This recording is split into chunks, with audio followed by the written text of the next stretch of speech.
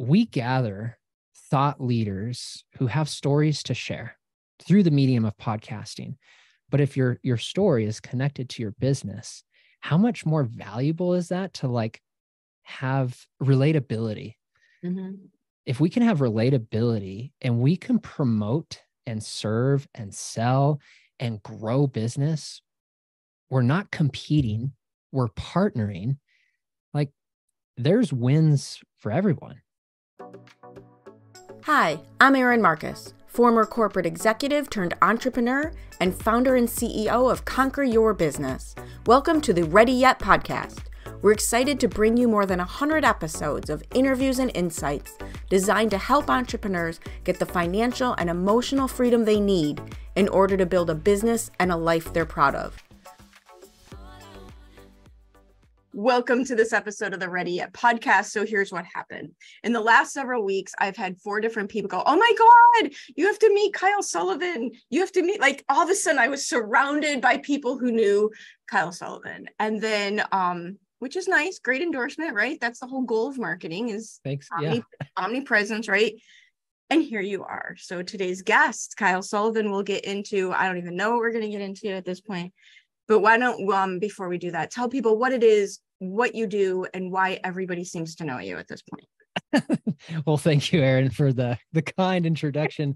There's days I don't know what I'm doing, and I'm just oh, like, please, that's like normal. You, you just need a network, and you need to tell people how awesome they are through story. So on a on an understanding level, I'm a podcast performance coach, and I help entrepreneurs who have high ticket services grow and build their platforms and grow their network so that they can cross refer high ticket uh, programs, help the world be a better place by offering amazing services to other individuals. So in the B2B space, never knew I'd be here. No. Uh, but wow, I, I have my own podcast called Scaling Mountains where I talk about entrepreneurs who have a goal. They have a summit.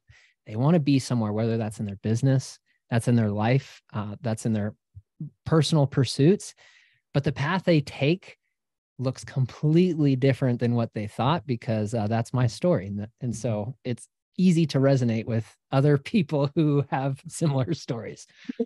Or the opposite stories right? We were talking before that you were a rule follower right? You had this path laid out. And it wasn't that i didn't have a and i didn't have a path. Who am i kidding? I didn't have a path. I don't follow rules. I was achieving success in corporate and would get the next promotion. And it was always one of those things where I got the next promotion and opportunity because I did a good job, right? You do a good job, the next door opens. So even though I never had a path, I had a really, really deep work ethic, hmm. which created the path and i love i love the irony between the fact that your podcast is called scaling mountains and a couple days ago you kind of almost fell off one which is the opposite of scaling mountains. Yeah what's that was a perfect tee up. So um i'm gonna i'm gonna bring everyone on a journey if that's okay and yes. and kind of share where this path started where it goes and and see what comes out of it I spent 12 years of my life as an EMT. So my my life dream, my goal was to be a paramedic firefighter. And that was my brother's, by the way, also. Really? Mm-hmm. I would hear an ambulance and I would like rush out and I would say, Mom, Dad, what, what's going on? And you know, as a young kid, every every little boy, you know, that that was the dream, that was the story. But what you just said about work work ethic, my parents really instilled that to me. Like you can do anything as long as you put your your heart and your effort towards it. So I did and they they offered so much time for me to grow and excel. So here i was this like performance driven uh, kid 4.0 gpa never failed at anything oh my really god hard. i like if they would have had the electronic tracking of humans in the 70s and 80s that they do now i didn't meet the attendance requirements to graduate. Yeah. It's a I little different like, path and yet right and like here we are in the same room together right? I know we have like complete opposite theories of how we grew up yeah but it was like follow the rules and you'll be successful. And so i did and it was 2010 um, and i was going to paramedic school. I was a top candidate in my fire academy. I had glowing accolades and I had volunteered for our local fire service for about seven years at this point, really creating a name for myself so I can just go in and get the job I wanted. And I did not make it through paramedic school. I failed. And there was this overwhelming sense of fear that, okay, I lost, I, I failed, I lost this. What, what's going on? Not only that, but I had an ankle injury and that required surgery because when I got back home, I had the local fire chief offer me a position still, regardless of my not passing paramedic school. He said, I still want to hire you with the department because of the work ethic that you've put in. And so here I am, performance work ethic. And I had to get surgery on my ankle. That chief retired, and a new chief came in requiring paramedics only. Mm, well, and, and for my brother, he hurt his back. Mm. And he had already at 16 and 17 years old saved people's lives as, as a lifeguard like yeah. traffic accidents in front of the pool and he would jump in and save people's lives. And yet because he had hurt his back no insurance coverage mm. there's no insurance company was going to allow him on a fire department. They weren't going to allow him on a team because he's now a risk. Yeah. So similar like yeah. all of a sudden it's all gone. In a matter of six months a career i i spent you know 12 years to go after was was gone. And it was this moment like what do i do? Who am i? I put so much identity in the path that i didn't even know who i was. And i moved back to my parents. I was 23 years old living in my in my old room growing up in a very dark depressed state. And the my brother was touring europe and we had an open room and I was connected to uh, this program that takes people out into the back country, into the wilderness, called Ultimate Wilderness Adventures. And there, I did an internship uh, over a summer of break. But there was this uh, girl who we knew from other contacts. She was going through the same internship. She didn't know where she was going to stay. And my parents met her and said, Hey, we have an extra room. Uh, come stay at my house. Our, our son just moved back. He's going through a hard time. He needs a friend. right. Move in. I'm like, we don't want to wow. get him a dog. Will you come help him? yeah, this right. is this is a horrible situation. Let I don't need, you know, anyways. So. yes. I can only imagine. And so here comes Ashley. She moves in. And over the course of a number of months, we we become you know best friends. She just she loved me where i was at. You know i think that's so important where we expect so much out of people, but how often do we truly just see where they're at and give individuals what they need? Well, and, and conversely though do we allow people to love us? Like a lot of time there's a lot of mm. horrible people out there who will not love you where you're at but i think there's just as many people who think they're unlovable where they're at. Yeah which is the flip side of that same problem but mm. That's a really good point. And so I, I started experiencing there was no there was no attachments there was no like what can I get out of this relationship? And as my ankle healed um I was doing some school working for my dad. He had a carpet clean business. And so I was just kind of like trying to find myself again. What is this all about? And uh it was winter really really cold winter here in the Sierra Nevada mountains but no snow. So typically, when it's a really cold winter and no snow, you can get out into the back country and there's tons of lakes that we have in Desolation Wilderness. And so both of us being just this these outdoor connoisseurs, we said, let's go see what we can see. And we had heard that this lake called Eagle Lake, it was only a mile in the back country, was frozen and it doesn't freeze. Well, it freezes every year, but there's feet of snow. Well, this year there was no snow. So there was a rumor going through town through the locals that, hey, it is glass out there right oh, now. Yeah. And if you have ice skates, oh, like go for right. it. And so here we are. We we hike back out. We brought headlamps because it gets dark at like four o'clock, you know, and we ice skated on this backcountry lake, probably the size of two football fields long and two football fields wide. And it was like dreamy. It was incredible. I've never gone so fast, done so many cool things. Like all you can go as far as you wanted and just do loops. And it was really clear um, ice. So you can like nice. see two feet down and little bubbles that had frozen all the way through, like sticks and fish. And it was like, whoa, this is a different world. So it's starting to get late in the evening. And we said, okay, we should get going. And I do one more loop. I'm actually going backwards, you know, trying to show off. And uh, my skate catches. I caught my skate and my head went straight down to the ice, just crack oh. right on the ice. And I could still feel and remember the sound. I never passed out. I was conscious the whole time, but my head was split open, blood everywhere, and the pounding of my head. Like I knew it, it's just that gut discernment that something is seriously wrong. And so um, she hiked me out with headlamps down this path. She had Good. no idea how to drive a stick shift. My I had a Tacoma truck. She figured it out on the way just with that adrenaline. Filled your gears, right? Yeah. Second gear, she, the, whole, second gear the whole way down. I was oh I was God. very impressed. But I had to stop along the time and vomit because I had such oh, a bad concussion. yeah. We get to the emergency room, and at this time, uh, one of my I had moved into the hospital as an emergency room technician, so I was always helping people in this state. Now I'm one of right. your friend, your your work friends. Uh, you get carted yeah. in. Your work friends are taking care of you.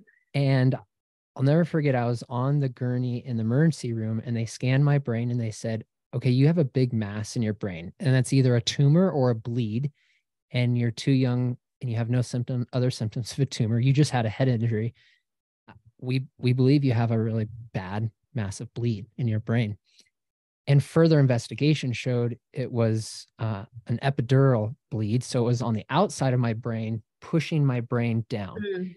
and if you don't allow the pressure to expand you you lose your heartbeat you lose your ability to breathe and it's fatal.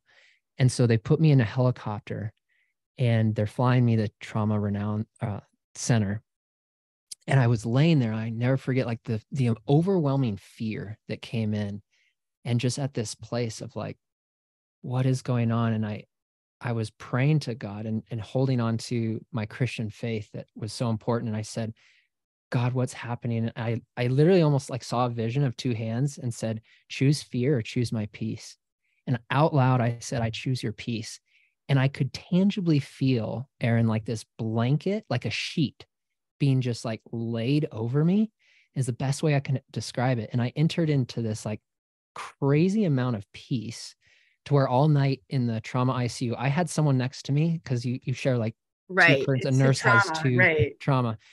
They were on life support from a, a car accident. And here I am like next to them, like, okay, this is serious.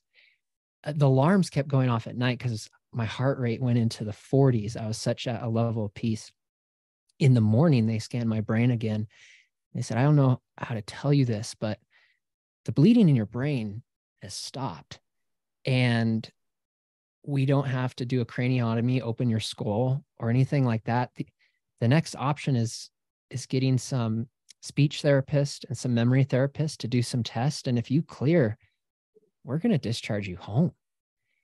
And hands down, uh, bona fide miracle. I, I was wheeled out of the trauma ICU. It was exactly to the minute, 24 hours after the event had started. And it was at that moment that I knew, like, okay, my path and all the paths I'd taken, maybe to this moment, was kind of this realignment, this redefining thing of I'm here for a reason. I'm alive and and God has saved my life. And so uh Ashley is now my wife. We have three kids. And she said, I just had to hit my head hard enough for me to commit to asking her to marry, figure that out. right, exactly. She, well, right. I mean, in terms of the uh, give and take of marriage, you're screwed. You're gonna never do enough. Like, there's no way to pay that back. But um, it's so interesting you know the audience is entrepreneurs the audience is business owners and maybe not everyone has as extreme a story hmm. but I think for people, like, I don't know, you got to go suit through something to learn how to be successful at this. Yeah. There's got to be a catalyst Mhm. that opens your mind, opens your heart, changes the way you think about things. Whether that happens to you as an adult, mine was more as a child, which is what I think put me on the weird path. Um, and learning how to not get so monumentally attached to things, right? Yeah. Knowing it all can change. A- And for to speak to the entrepreneurs out there, I had no idea what was the next step, what was the next path. I didn't even see myself in business or connecting or even in in the podcast space. This this was crazy. I mean, this was now 2 years ago. I was going to nursing school. I was like, okay, no more fire department. Hospital is where I- I mean, I'm I'm alive. I have this passion for patients. I would get in trouble in the ER because I'd spend too much time with patients because I wanted to hear their story. And so I was like, okay, I need more time with patients. So I'm going to go to nursing school. But now with a family, like, how do you make this possible? I don't want a hundred grand in student loan debt just to live off for two years. And that doesn't even include the school. And so I was kind of going down that path of like, what's the side hustle so that I can make this career and this dream possible? And that little pivot of networking and asking questions. I just started asking questions like, what can you do out there? What's possible through Amazon? What's possible through high ticket sales? What's what's possible through trading and stock market? You're like, when you're in these moments of like, I have to figure something out, you just start asking a lot of questions. But you also had the backdrop after the experience you had. That's a different backdrop than Mm. figuring things out out of scarcity or panic. I Mm. think there's when right when you have everything change for you you start to think that anything's possible. Mm. right? You get this backdrop of anything being possible. Yeah. which is creates this situation of curiosity instead of scarcity. And Mm. asking questions from that point of view. Yeah. instead of what do i do? What do i do? What do i do? Oh my god oh my god oh my god Yeah. I think that that fear of failure I had to go through just uh, personally and then it was the fear of the of death literally Right. like all this is gone. What really is important? Like how bad can it be? And in my story this was just an accident. Like this was a, a traumatic accident. There are stories out there that I am shocked and that's why I love this medium of podcasting because there's times I'm like tearing up on an episode when people are sharing to me their struggles. And I was like, okay, I thought I had a good story. right oh totally right and, and and but okay so a little bit on that because i think you know and and hearing your story and to me it's the most obvious thing in the world that you're in an environment where you focus on true connections for me my experience podcasting where i'm hosting so many people and being a guest on so many podcasts has been unbelievable who i've gotten to meet all over the world Yeah. and the conversations we've had like real conversations um because that's what this medium really provides Mhm. is real conversations. But this idea that what you just said to is one of my like core beliefs you never know what anybody else went through. Mm, you never know. When i was uh 25 years old 26 years old i was a manager of a big apartment complex in the chicago suburbs. Hmm. i still don't know what made somebody give 25 year old me their multi-million dollar asset and said here go be in charge of this right? But there i was. And we had two uh, uh, a man and a woman who cleaned the apartments and the hallways for us. Hmm. and the owner of the business treated them like crap. Hmm. treated them like crap because they didn't speak english. And but they were going to classes so a couple months later they did speak english and then i find out that they were political refugees Wow. right? They were political refugees. They had a daughter they left behind, and they had to have a secret code with the grandmother who had custody of the daughter of when they could call because they knew all the phones were being bugged. Mm. Like you never know. Yeah. They were one was a chemistry teacher and one was like a bioengineer. Mm. And they were only cleaning apartments because of a language barrier. Mhm. You you never know. And Yeah. and can you Mm. can you always always always come from a place of empathy and curiosity? I hope you're enjoying this episode of the Ready Yet podcast brought to you by Conquer Your Business. With decades of experience, Conquer Your Business creates business and branding strategies that build multiple six and seven figure businesses. And we don't just show you what to do, we have an entire team of people available to help you do it strategy and implementation. You can learn more and reach out to us by visiting conqueryourbusiness.com. and and at times I- think the the biggest that's what i'm looking for the attack on that would be that we assume um Right. We we look at someone's linkedin profile we looked at we look at their bio we we see what they're doing and we go okay this is what this conversation is going to be or this is where maybe i can serve them or maybe not but until you're doing this it's like You have no Oh. idea. no no idea i um i talk about this all the time in in our coaching calls typically we're we're after the best story or the the best prospect or the best lead of who we can serve. But i i started just saying you know what? I'm willing to network with people even if they're not. And uh, I, I had an individual and his story was mediocre but i was like how can we serve others? And i started asking for what i was what i was looking for. And i said i'm i'm in this space. I i serve b2b markets now and i, I love stories. And we just started talking. And he sent me an individual. You guys can look this up. Big shout out to Jenn Drummond for her life. But uh, she came my way. She she has scaled uh, many mountains. I, I watched her youtube and i was like oh my gosh I, I want this story to get out into the world. And I, I cold outreached her on linkedin and i said you were referred by someone else who was on my podcast. Uh, Jenn was very successful in financial space. She moved over a billion dollars in assets. She was in an almost fatal car crash and she survived. She has seven kids. Oh, wow. and her her son one day was having difficulty with his math homework. And she's like come on buddy it's okay. We do hard things. He goes mom if if you do hard thing if we do hard things why don't you just go scale the tallest mountain and at that time she was looking at training and, scaling this um, big peak I, I believe uh, in alaska somewhere. I could be wrong but fast forward a year later she had scaled it. And not only that but she ended up scaling everest. And just this year she broke the guinness book of world records for being the only female to scale all second seven summits of the world.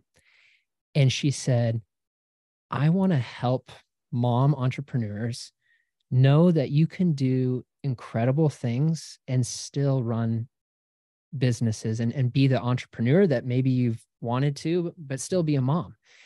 And so she launched a mastermind. We're, we're working with her. She and just cross referring at a high, high level and seeing the business come out of first the story that you have. You don't have to have a crazy story like that, but just networking with people that have amazing stories. I don't know. It's it's just my passion button now. Like you you press it, I'm like, ooh, let's get a good story out there. And this could lead to like You an incredible write- amount of business. the way that I was taught, and the, the phrase that I use, connect as a human first. Mm, That's it. Connect as a human first. And I have the same approach where, yeah, there's times in the business that we have a, you know, we're trying to get a cash injection, we're trying to launch something, and we get real dialed in on our prospecting and our sales process. And that's great. You have to have that. Um, but much like you, I decided a long time ago that I was going to walk into every room and meet every person knowing I can help in some way. Mm-hmm. Like that's just it. Help in some way. Givers always win. Givers always win. Well, in for me, it came from a little weird place. Not that I don't enjoy giving. Like in my last business, I referred out six million dollars of real estate in six years, Hmm. which was great. I was excited to do it. It wasn't what I did for a living. It was adjacent to what I did for a living. And it made moving into this business easier because if you get on stage in front of a bunch of realtors and said, I referred out $6 million in real estate, they'll give you about a minute and a half instead of eight seconds to like, oh, maybe we should pay attention to this person. Right. Hmm. But when you talk about meeting people and being open like that, the problem that I was having was, you know, I'm five feet tall. I'm from the city of Chicago, like total street kid. We were barely, I won't even say we weren't juvenile delinquents because that's just not true. And I had this picture in my head that somebody who was tall, thin, blonde, and put together in an outfit. Where this came from, like this is a stupid ass stories we tell ourselves. If they looked put together in a uh some kind of outfit that where you can tell everything went together, I'm like, oh look, they really have it figured out. Yeah. And then they would say, "Oh, we should have coffee. We can be accountability partners, whatever." And I'd be all, "Oh my god, they like me," you know. And yeah, and then I'd go and meet them, and like they have no idea what the hell they're doing. I could have helped this person, except I, not them. I put them on a pedestal Yeah, Good point. for some why? Because their purse matched their shoes. I mean, come on. Yeah. And so instead, walking in, knowing I can help in some way, being open to anything, Hmm. open to anything. I, you know, I teased you when I first met you. I had all these people tell me I had to meet you, and the way they were talking about it, I'm thinking this is going to be some big old pyramid scheme. Like, what the hell, right? Because I didn't have the full picture, hmm but I Oh, didn't say no. I don't want to meet Kyle because people don't explain what he does for a living. You know what? Out of that conversation, side note, there's so many good uh, pieces and nuggets here to make sure your messaging and your branding is very, very clear and very, very simple. I Very, think a lot of times we, I think we well, try to elaborate this big story of how you should meet this person and why. Everybody shorten it up. Short. if I get if I get an email with like three paragraphs of why I should meet someone, I'm like I have no attention span. I don't even I don't even read that. But if bullet points, it's please. two sentences, hey, connect with Erin. She has an awesome podcast. You'd be a great guest. Let's do it. Right, like keep We'll figure simple. this out as we go, but let's just connect Like, and do it. don't don't make assumptions that close doors. Mm, You know, because here you and I are. I have people to send your way. I know I know something will come out of it for me. Like the relationship is at the beginning, not the end. We have these opposite end of the spectrum stories because here you are, like adult near death experience out in the woods. I grew up in the city. All my near death experiences happened before I was five. in the streets. Four of them. And that's not even counting the time we got shot at while we were accidentally came across a drug deal gone bad at 15 years old, illegally driving cars. But like, right, right, but you can Hmm. connect, right? There's more similarities and more help. And it's not just the stories, but the thing that I know about growing a business, and there's books on this, right? It's who, not what. Every part of your every part of your life, as soon as something goes wrong, you're like, oh my God, who do I know who can help me? Why Hmm. don't we do that in our businesses? Mm, Instead of, oh my. God, what do I need to do? yeah. So getting some subject matter expertise for our people here, like so no pressure on Erin, but you judge people's performances on podcasts. I don't know. Do I get like a report card after this? Um well, I, I'm on your side, and this is you're doing fantastic. Uh, I don't guest a lot, so I was going to ask you the same question. Uh, but like what are you um Hmm.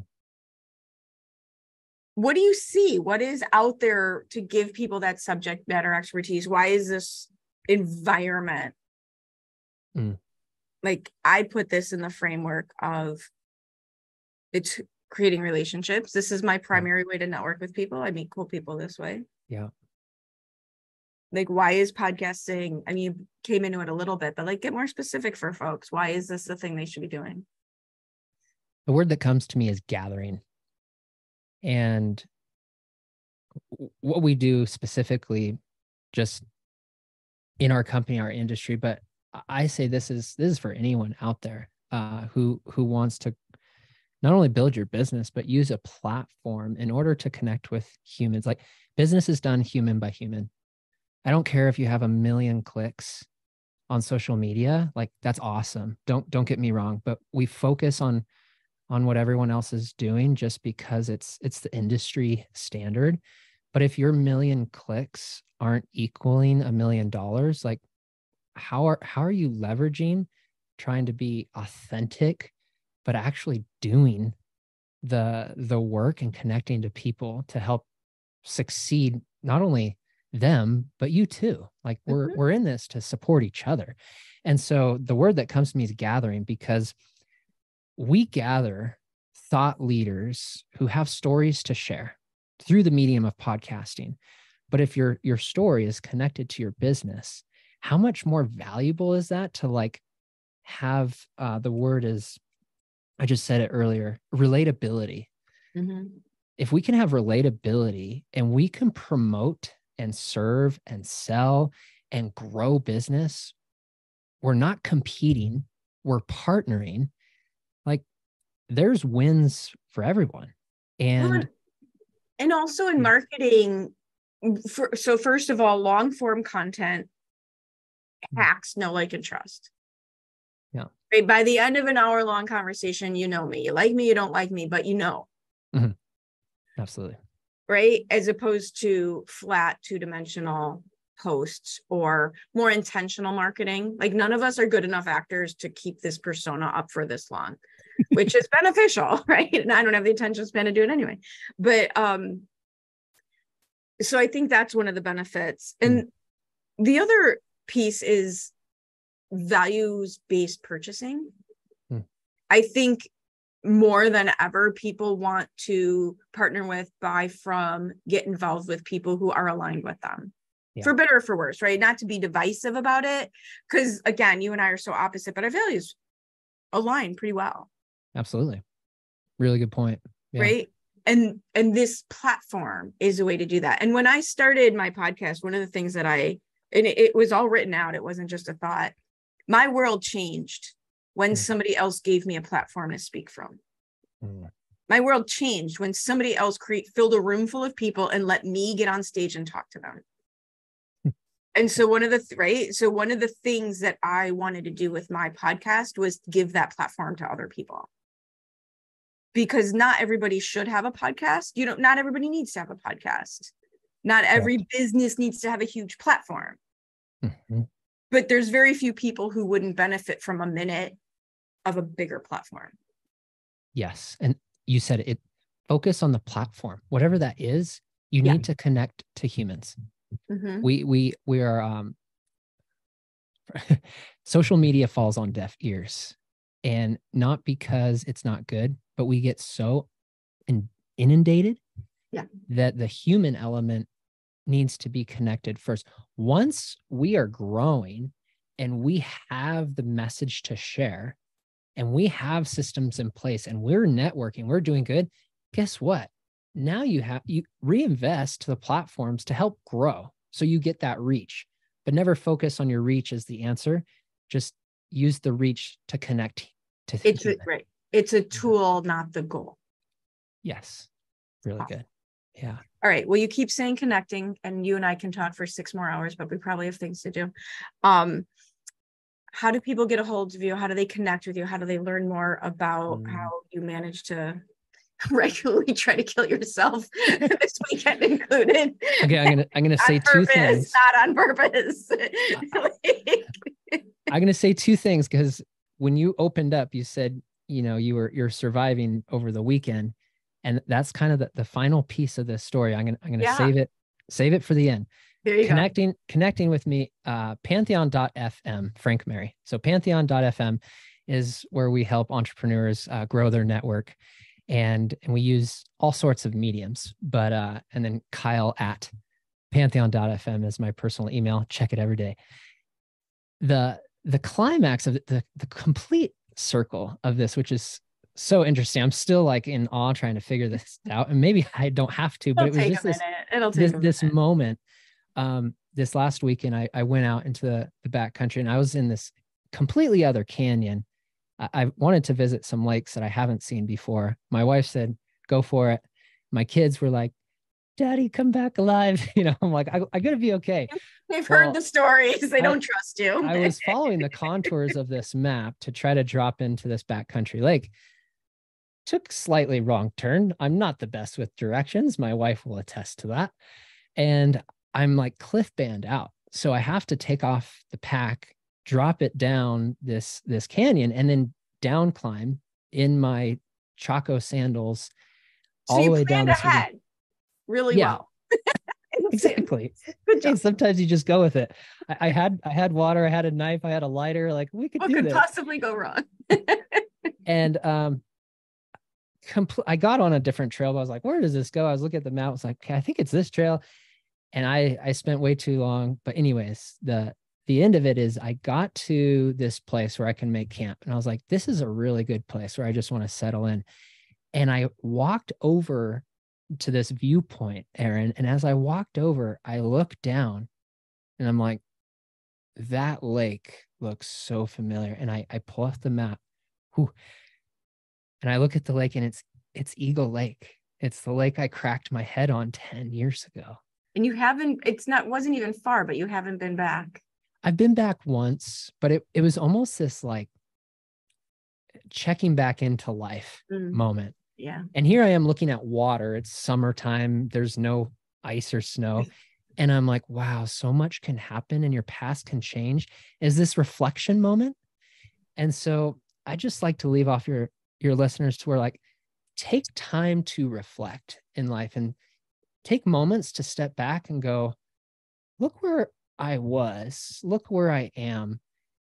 And that journey can have the ups and downs, but man, when you put the whole story together and and web it and all the people that have helped you where you're at, give thanks to them. All the people that you're hoping to inspire, truly connect and say, how, how can I help you? Because the journey, we're all on this journey. And when we embed our stories, it it makes this package worth sharing and and worth building. So um that's that's kind of like and my, i'm curious yeah and i'm curious what you come up with because that's um what that original incident did for you is it opened you up to paying attention in a different way hmm.